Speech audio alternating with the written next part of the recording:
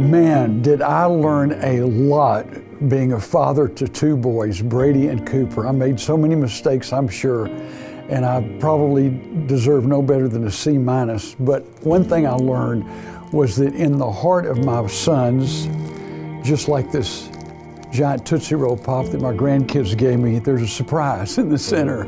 it's the Tootsie Roll in the middle of the candy. And honestly, uh, dads, I've never met, ever, I've never met a young man at this camp, and I've met tens of thousands who didn't have a surprise in the heart.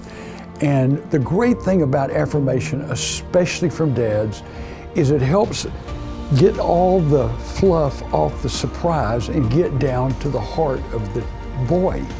And affirmation is the way a dad does that. I remember a study that were, was done by a couple of uh, psychologists in Denver, and they determined that if a husband or a dad gives five more encouraging words to every one ask or request or correction, five to one, there's a 94% chance of a happy marriage or a happy home.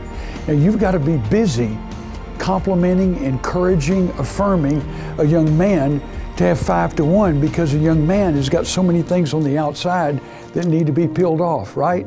So the best way to encourage a boy is to say things like, I love it when you blank, or I appreciate it so much when you blank because boys respond best to affirmation that is specifically tied to something we see them do well.